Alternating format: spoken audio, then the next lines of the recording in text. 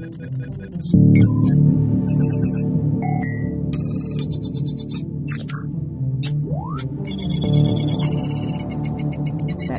for on. Hi guys, I'm Muhammed Rashid Alooparambil. I would like to share a comment in front of you now. Be the master of artificial intelligence before it replaces you. We all know that nowadays this world is changing as a machine world. It's a truth. If you agree or not agree, it doesn't matter. But 100% uh, I'm sure that and 100% it's a fact the world is changing as a machine world all things are getting changed artificial intelligence. When I shared this uh, comment on social media I received a lot of messages. I received a lot of responses like uh, how come artificial intelligence can replace us me? Or like uh, how artificial intelligences can replace us a driver? That kind of questions. It's just only your thinking you are just thinking like that you cannot replace it. But be careful. Already artificial intelligence applied in cars also. You can see this Audi car it's without driver. Even this one doesn't have this uh, steering wheel also. Just watch this one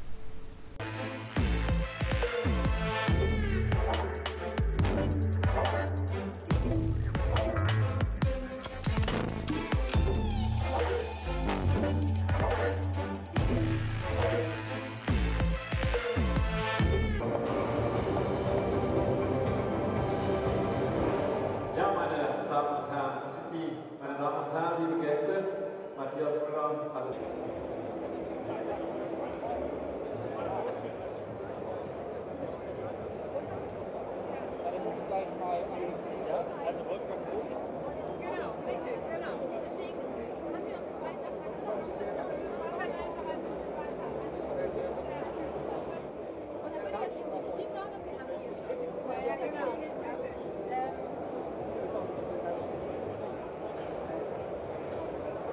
Banking on what Audi has done before, they're, the most autonomous we know.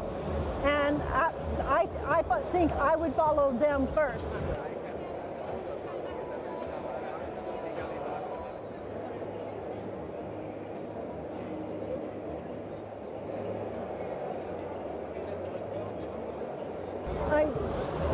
And if you look at some of the things that could happen inside of the car, if they're pairing with people that have the best speakers and the best microphones, because what you're going to be doing is uh, watching TV, doing video conferencing, listening to music, and for the older people, these uh, these cars are uh, going to be great. They just, because the chair just swivels right out and swivels right back in. So I think it's, it's a great start for what they need to do.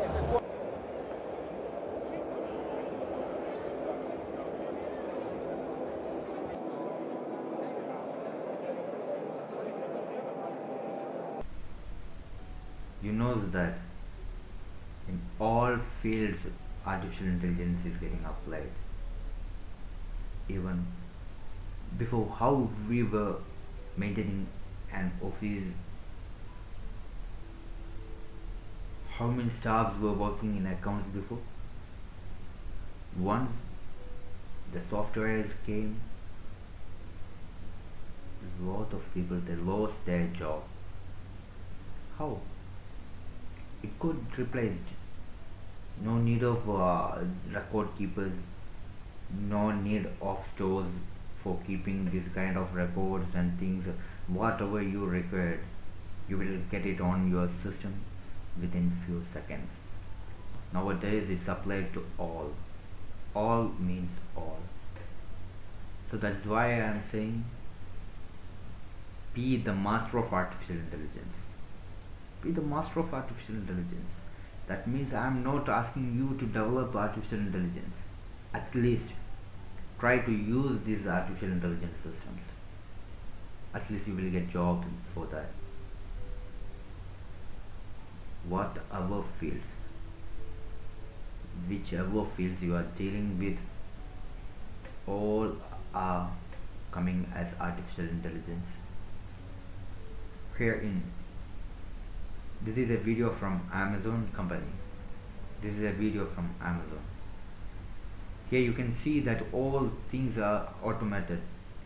All are through machines. How it's working, it's all through artificial intelligence only.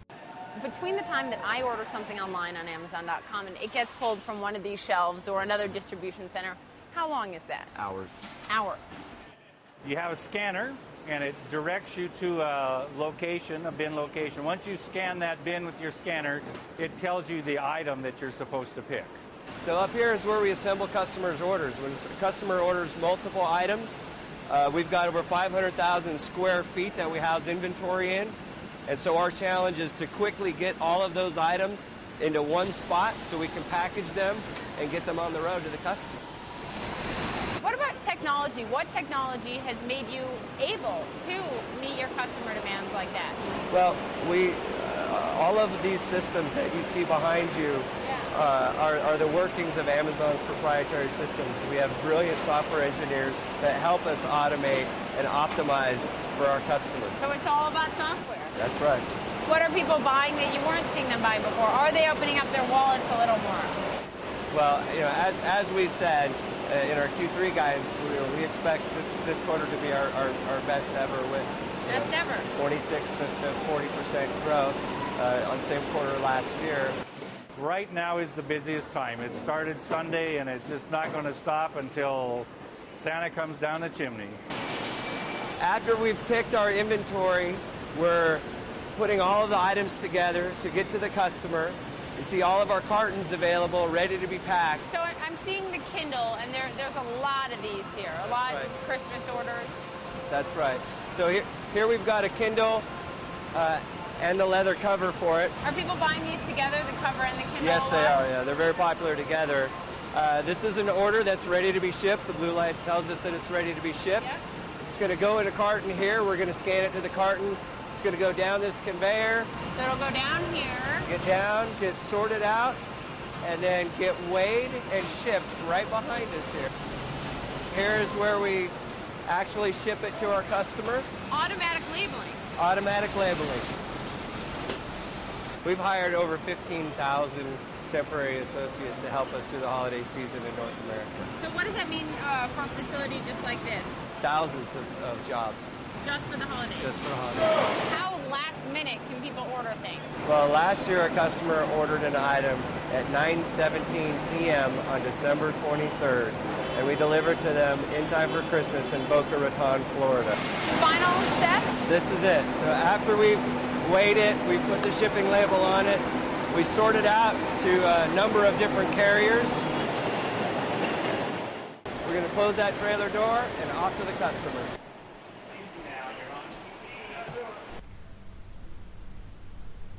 If this one we were using before, how many people will be working here? But from this itself, we can understand how many people lost their job.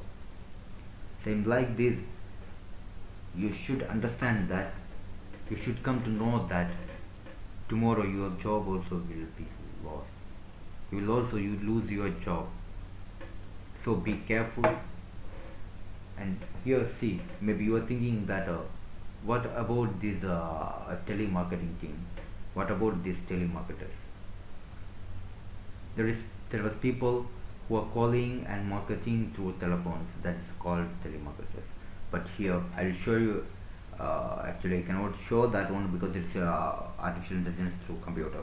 So I'll sh- show you a demo with the voice.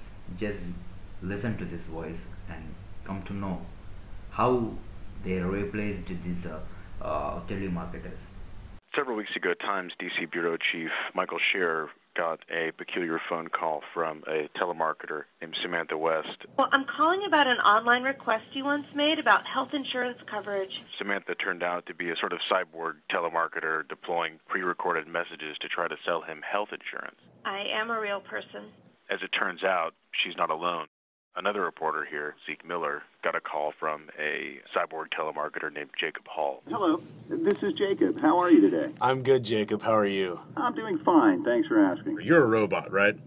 There's a live person right here. really? There's a live person right there. Yes. Uh, can we continue? All we need is for you to answer a few questions for us, and we can tell you if you qualify. Is that okay? Are you a robot, sir? There's a live person right here. I was just wondering what you did this weekend. I can't give out that information. Okay, well, uh, did you have a nice holiday? Are you poking fun at me? I'm just trying to figure out if you're a robot or not, because you sound a little bit robotic to me. I can't give out personal information. Can you at least give out the personal information that you are not a robot? Yeah, I am a real person. Will you say the words, I am not a robot? If you can do that, then we can move forward in the conversation. I'm sorry, look, we're not allowed to be silly on the telephone. Sorry, where are you calling from again? National Tax Help Center. We spoke to the CEO of the company, and he seemed to have no idea who Jacob Hall was or that there was any kind of cyborg telemarketing operation being run on his company's behalf. Let me ask you a couple of questions. Do you owe at least $8,000 in taxes? No. Do you owe at least $8,000 in taxes? Well, we need this information to continue. Well, I already told you no. Oh, I'm sorry. The number that Jacob Hall called was actually on the FTC's Federal Do Not Call Registry. A violation of the Do Not Call Registry can warrant a civil penalty for a company up to $16,000 per call. So it's no small thing, theoretically, to violate the registry. How did you get my phone number? Uh, I'm not sure how we got your information, but your profile matched the qualification criteria in our database. And, and what database is that? Well, we're calling those that owe employment tax or have past income tax due to the IRS or the state. And we have a friendly representative to assist in all the questions you'll need answered. Uh, Can I transfer you now? Yes, please. Telemarketing operations are subcontracted out many, many layers down. So many companies run these kind of operations, and the uh, episode with Jacob just illustrates how difficult it is to get to the bottom of it when the actual caller, the telemarketer, is so many layers removed from the company he's calling on behalf of. That company doesn't even know he's calling. Okay, well, just say I'm not a robot and then we'll carry on. I'm sorry. Thanks, bye. Wow. The next one what I am going to show you is receptionist. You knows that whenever, wherever, whichever company we are going, there would be a, one receptionist sitting at the reception to give you a better reception. But here, just go through this video. Here, this receptionist, this lady, she is a robot. Just watch. She can smile and she can sing. Customers to Japan's oldest department store chain are greeted by this robot who has just started work as a receptionist there. She's been programmed to speak Japanese but can also be fine tuned to speak in Chinese and Korean too. And the lifelike android marked her first day at work with a song, well, perhaps lip synced her way through most of it. After the performance, the robot asked for applause for the opera singer. Oops, well, she is just a robot after all. For some of the visitors, the android was quite an eye opener. I'm just so surprised that humans have developed machine engineering to this point. Her future isn't certain, but she will be at the store's entrance welcoming customers until May the 5th. The company said it will decide next month whether humans will return to this post or not. But receptionists worldwide probably don't need to worry too much. At the moment, she isn't programmed to handle complaints or questions. Now I'm just showing you some other videos from this robotics and artificial intelligence. Just make sure that your job is safe. For that one I'm saying be the master of artificial intelligence before it replaces you. If you don't care, tomorrow you will lose your job for sure.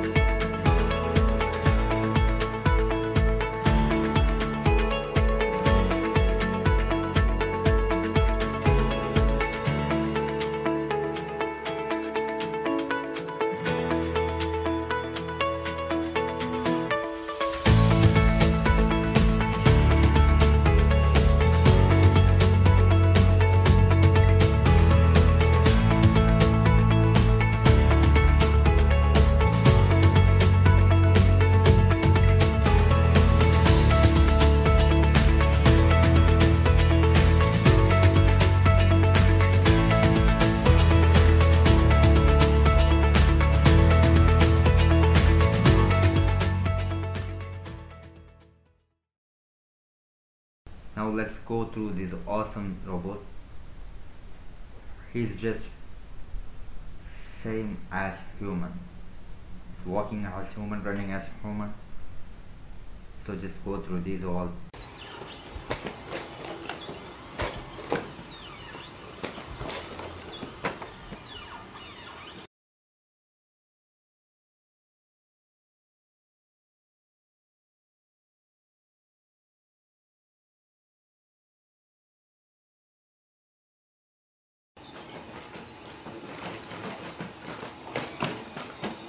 Atlas's advanced control system enables highly diverse and agile locomotion, while algorithms reason through complex dynamic interactions involving the whole body and environment to plan movement. Guys, once again I wish to make you remember that be the master of artificial intelligence before it replaces you. Don't lose this chance. Don't lose your job.